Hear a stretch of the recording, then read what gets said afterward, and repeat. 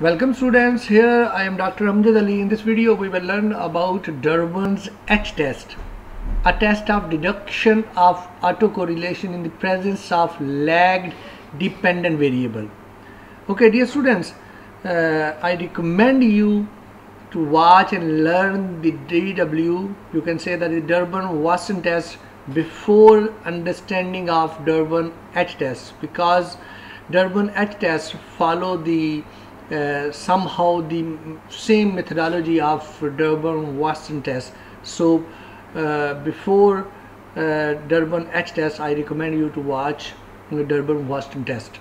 Okay, one of the assumption of uh, OLS is that the covariance between the two error is equal to zero. This means that two errors are not uh, correlated.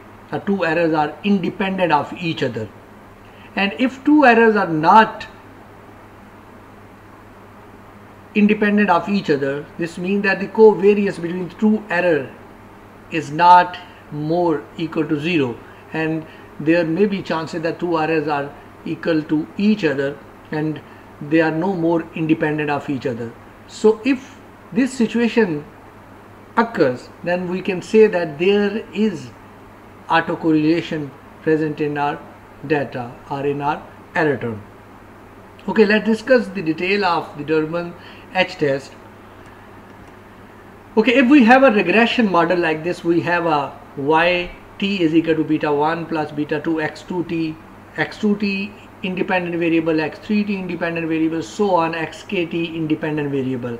But here see, we have a independent variable lagged value of dependent variable as a independent or explanatory variable.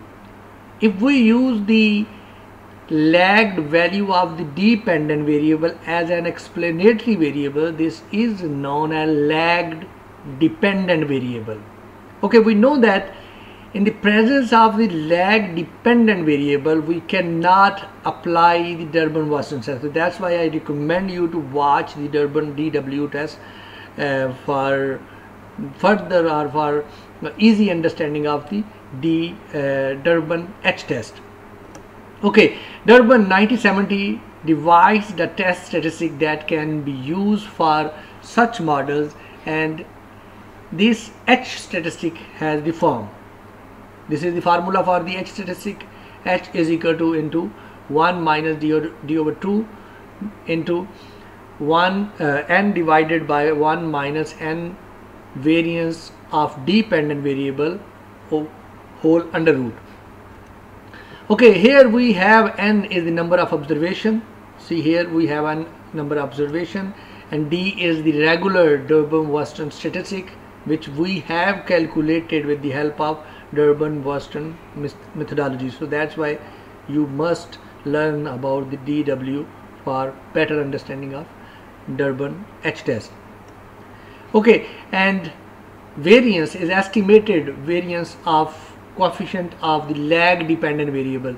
If you find the variance of this series this is called the estimated variance of coefficient of lag dependent variable. Okay. For the large sample statistic uh, Durbin H test follows a normal distribution. Steps involved in Durbin H test 1970 Step 1. Step 1 estimate OLS. If you have a, a uh, regression line with the x2 independent variable, x3 independent variable, so on, xk independent variable and the lag dependent variable as an explanatory variable. So from here you have to calculate your residual and with that residual you have to calculate the dw value as you know that your u is equal to I'm not uh, uh, giving the any subscribe because I feel a difficulty in writing with this so that's why I am using without subscript okay this is your u and from this you find a series of u u1 2 3 u so on. So from this you uh, uh, in the Durbin-Watson methodology we use the u dependent variable and lag of u as an independent. So that's we get both series here. And from here this u and ut we get u hat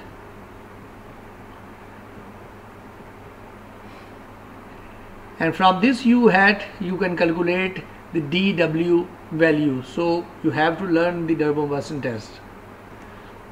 Okay this is the value of the uh, regular Durbin-Watson test that d is equal to summation u hat minus u, u hat lag period over whole square divided by summation u hat t square okay step 2 calculate the h statistic here you have calculated the d value put the d value here you have the number of observation you have have the variance of this series so put the variance of this uh, uh, this series here and you get multiplication and division. After the multiplication or division you get the value of H Durbin test. Okay step 3 develop your hypothesis. Null hypothesis is that your rho is equal to 0 this means that there is no autocorrelation. And if rho is less than 0 there is autocorrelation. This is your alternative hypothesis. Rho is less than 0 you can say that there is autocorrelation.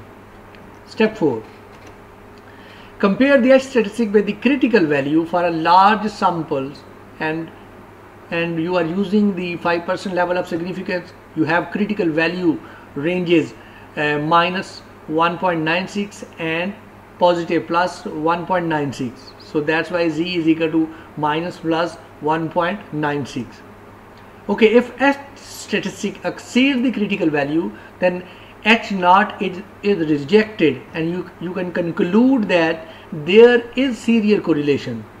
Okay see we have a graphical presentation here. This is the uh, minus side of our critical value minus 1.96 and this is plus side of our critical value z test 1.96 and if each calculated value if each calculated value lies between minus 1.96 and plus 1.96 we can reject h naught and conclude that there is no autocorrelation present in our error term or somehow you can uh, give the interpretation in our data. But if x exceed from this side or this side you can conclude that there is autocorrelation present in our error term. So this is all about the uh, Durbin's H test. And for the practical uh, point of view of the Durbin H test uh, with the help of EViews I will um, develop another separate video for this purpose. Okay? See you with another video. Ciao